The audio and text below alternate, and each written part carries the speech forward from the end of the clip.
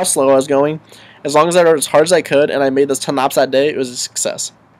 So you want to set up goals where you can't fail. Like, uh, say you want to get in shape. Uh, goal one, you have to go a mile. It doesn't matter if you have to walk during part of it. You have to go a mile. It doesn't matter if it takes you an hour. You have to make it a mile. A goal like that you can't fail out, so it's really good. So you got to keep consistent goals like that. Really small baby step goals where you can't fail. And then other goals you want along the way is you want benchmark goals to see if your results are paying off. Okay, well, first, before I talk about I'm talking about buying in. Uh, when you set a goal, you want to fully buy into it. What that means is you want to do the research and make sure your plan's pretty legit. But you got to believe in yourself 100% that what you decided to do is going to pay off. So everything that you've planned out is going to pay off in the end. And if you don't believe this 100%, it's most likely not going to happen. So for me, when I finally got this plan, I just knew, like, if I put in all this work, it's going to pay off. And most plans, too, this is why you have to buy in, actually. Progression isn't a steady thing. So every time you do it, you're not like, oh, better, better, better, because that'd be so easy to buy in. You have to believe that when you progress, it's going to be up, down, up, down, uh, maybe down for a while, but eventually it's going to keep going. I'll give you another example through motocross. There's a point where I'd like I'd been getting better for a while. I hit one point for two weeks. I wasn't getting any better. I actually felt like I was getting worse, but I like I stuck with my plan. I was like, I feel like I'm getting worse. So I just stayed on it.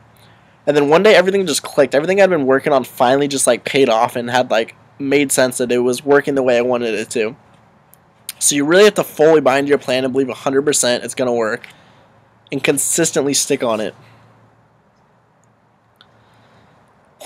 Another another thing I kind of mentioned this earlier, but like most successful plans are really slow and steady. Uh, I'd say a good example is weight loss. The ones that are like, oh, you're gonna lose five pounds in a week. Chances are the five pounds you're losing isn't like healthy weight loss, because most healthy ways you lose weight, it's like a pound or two a week of fat, and that's healthy weight loss. Otherwise, you could lose like a lot of water or stuff like that, where it's not too healthy, but you lose five pounds right away. So most good plans are actually slow, steady increases versus fast, um, say fast volatile ones that are going to be like varying up and down. So kind of slow and steady is generally a better route. Another example I can give for that is uh, I used to do rock climbing quite a bit.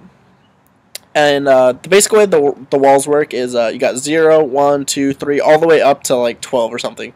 Obviously 0 is the easiest and you just work your way up. So when I'd start climbing, I could do generally zeros and ones right away. And then every time I'd go, I'd get like a couple more twos, a couple more twos, a couple more twos, and then I finally got all the twos. And then the next time it was I got a couple threes, a couple threes, and I just kept going until I got to the point where I was getting a couple fours. One day I was feeling really good, and I just climbed probably twice, three times as long as I had ever climbed. And uh, that day I killed it. I got like three new four outs or something. I was like, oh, damn, it's a good day. But the problem was I totally overdid it. So that for the next two, three weeks, whenever I climbed, I actually degraded a lot. I was back to working on like twos. I couldn't do like all the threes I could do. I couldn't do all the fours I could do. So it caused me to degress for a while because I overdid it on that one day. So sometimes it's better to underdo it a little bit and steadily increase than it is to totally overdo it and have those like steps back. We have to completely wait. So I lost like virtually three weeks because I overdid it that one day. Another super important thing, it's probably this actually might be the most important, is uh, when you set up your training program, do what's called hell or high water. Okay, I'm gonna go back to that last thing I was talking about, where I said it's probably the most important thing to success, and that's what I call hell or high water. So basically, it means is whenever you have your plan in motion, you're gonna do everything on that plan, come hell or high water. So that means you can't make any excuses for yourself.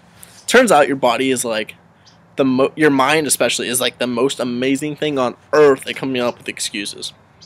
If you don't want to go work out today, like oh my arm's sore, uh, my hair's slightly messed up. Um, I don't, I don't think I drink enough water today. I can't, I can't work out. Your, your mind will come up with seriously any excuse you could possibly imagine. So what you have to do is, no matter what excuses you have that day, you have to cancel them out. Like for me, I told you, uh, two things I had to do uh, during the week was cardio.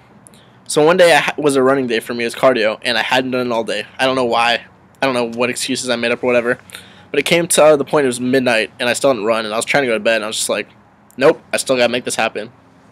So midnight to 1 in the morning, I drive down to the local high school, and I go and I run for three miles or whatever I need to do that day.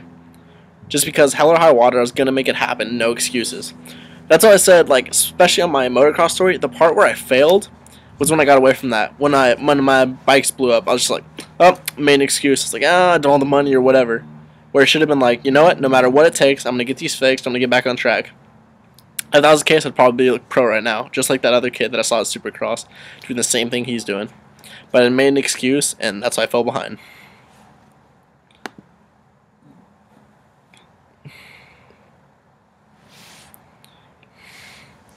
Okay, we're going back to like high school now.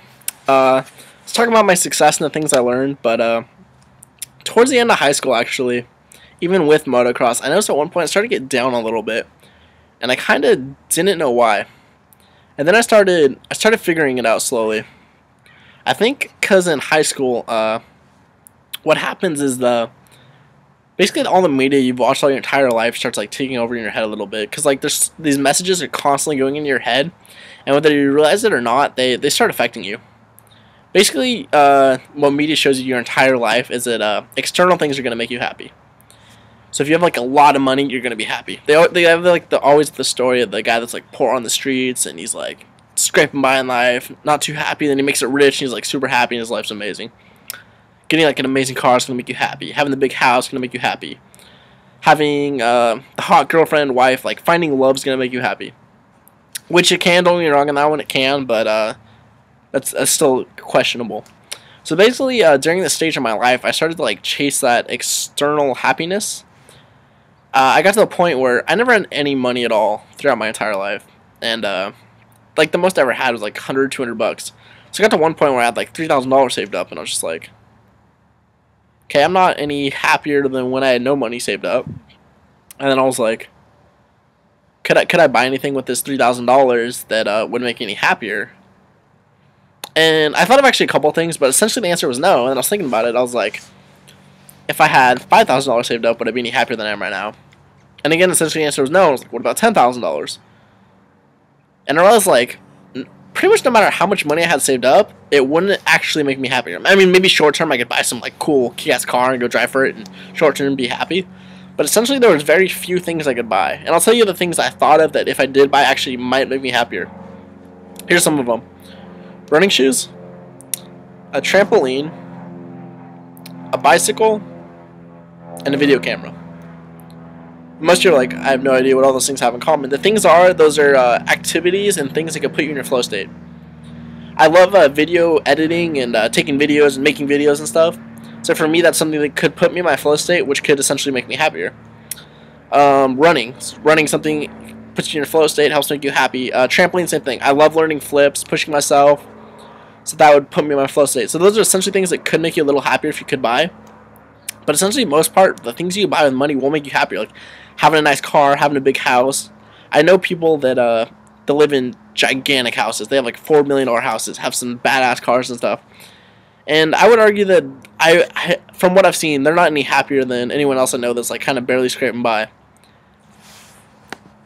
So basically, too, another thing I started chasing when I was going for this external happiness was uh, girls, because you always seeing like I mean, even love stories get to guys, like, don't get me wrong, I was like, yeah, even to this day, I still kind of want to find, like, the one, you know what I mean? Where everything just clicks with, everything's good, you have that love in your life. So in this point, I was just like, oh, if I had girls in my life, I'd probably be happier. And I started actually at this point dating, like, a lot of cute girls, like, cuter girls than I'd ever dated before, and, uh, I realized at the end of the day, like, I wasn't any happier. If anything, I was more down than I was before I started having any girls in my life. And I thought that was kind of weird. Um, like, I, I definitely enjoyed my time with them, but, like, it's like a shallow happiness. Like while you're with them, you're happy. Then as soon as you leave, you're. I was more down than I was before I had the girls. And I think the reason for that is I was trying to use the girls as my escape. When true happiness comes from within, you can't like put that on somebody else. So basically, during this point in my life, I was searching for that external happiness, and then uh, I would say the real equalizer was when I got to college. And this is something you've heard your entire life you probably never took to heart, and that is that uh, knowledge is power. And for me, I always heard that I was like, yeah, that doesn't make sense. Cause like, growing up, I kind of, I kind of like dislike school. Most of the subjects didn't click for me. And then, actually, a teacher, great teacher in college, one of the first classes I took, he told me this.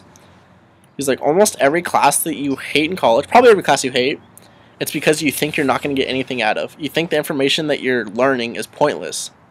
And I was like, he's totally right. Uh, the classes I disliked, I would memorize all stuff right before the test, and I forget it right after. I'm just like, it's pointless information. I'm never going to use this in my life. Those are the classes I didn't like. And then same thing with reading. I always thought growing up that I hated reading, and uh, it turned out I didn't hate reading. I hated what I was reading. I started reading books later that uh, I had interest in, and I thought would help me and benefit me in life. And it turned out like I loved reading them. So it was just the context that I was reading. So I'd say the great equalizer too, uh, as far as knowledge is power, is uh, anywhere you go in life, there's only two things you're gonna have with you. You're gonna have your knowledge and your skills. Your clothes might be different, your family might not be there, your friends might not be there, but those are the two things you'll always have with you. So having knowledge and skills is extremely important. A few things I learned in, in college too is uh, you can learn something from everyone in every situation. Even classes now, okay, next time you have a teacher that you like hate, instead of sitting there thinking about how much you hate that class, how much you hate that teacher, think about if you like what you wish that teacher would change about themselves. Like maybe they don't handle kids the right way. Maybe the way they speak isn't like but like essentially make it a positive. Take out the learning from it. And then this is something huge too. When you have that teacher that you dislike and you find the things you dislike about them, go back to that same teacher and find five things you really like about them. You never want to be a negative person in life. I hate I hate hanging around people that are like they always find the negative and they just bitch about everything. So even if you like don't like that person, find five things you've either learned from them or five things you like about them, and focus on those positives. When you start focusing on the positive things in life, you'll find your life just gets way better, and everything.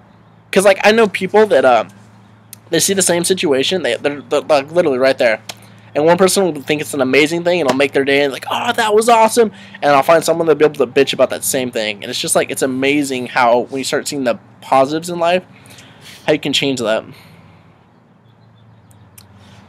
Kind of on the same note, but same like same with yeah. Always look for the positives. Every situation too. If you have something bad happen to you, say your girlfriend breaks up with you, look for the positive in that because there's guaranteed there's positives in every situation. So find a way to find those.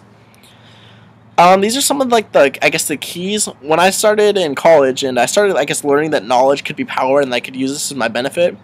I had a great interest in happiness and what made people like truly happy. And these are things, some of the things I figured out and that have helped make me happier, I guess, knowing these and uh, be consistently happy. The first thing I'm going to mention is working out, eating healthy, and plenty of sleep. I would say sleep is probably the number one thing I've noticed uh, from day to day that like either keeps me happy or can like I'm gonna say put me in a bad mood, but like or I'm just not enjoying life as much as if I get like lack of sleep and I don't sleep well. So sleep, if you can consistently get like your eight hours or whatever you need of sleep every single night, I would find a way to do that. Uh, some tips is uh, you can like black out your room. Generally, the darker it is, if you don't know what like time it is from the light, you can sleep better. Sometimes if it's too loud around you, you can use like a fan or something. Um, nutrition, I think, is extremely important. I'll give you my big, basic gist of the diet I try to follow. I try to make sure I get my vegetables, for the day. I try to make sure I get my fruits, and I try to make sure I get my protein. Other than that, the only thing I try is I try to eat an all natural diet. So that means all the foods that I eat don't have any chemicals in it. Again, your body is like the most amazing machine known to man that man will never create anything as cool as your body.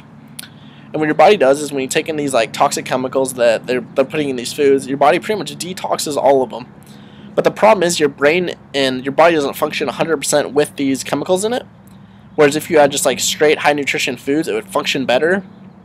And your body's using energy to detoxify all these things and then constantly repair itself from the damage these chemicals are doing to itself. So your body's doing all this extra work because you're putting these chemicals in your body. Whereas if you weren't, you'd be better off than if you are. Like I know, I know, I have a buddy who uh, runs marathons. He's in amazing shape and he's super unhealthy. But just like even he, if he ate healthy and had that clean diet, he would be in better shape and and better off than he is right now. And uh, let's say the last part of that was working out when you work out, it's got a lot of benefits. Uh, a body in motion tends to stay in motion. I have a my grandmother. She's almost 80 now, and uh, she's wakes up every morning at like three, goes for a swim. She's always out throughout the day doing stuff, and she's like she looks phenomenal for age. It's like she has a hunger about life. You can just tell like everything's going good. My dad, on the other token, he's only like 45 and uh, he's been sitting there like the last three years doing almost nothing with his life and like he's kind of like a bum to talk to doesn't have that same eagerness for life so definitely you want to be consistently out, like living your life.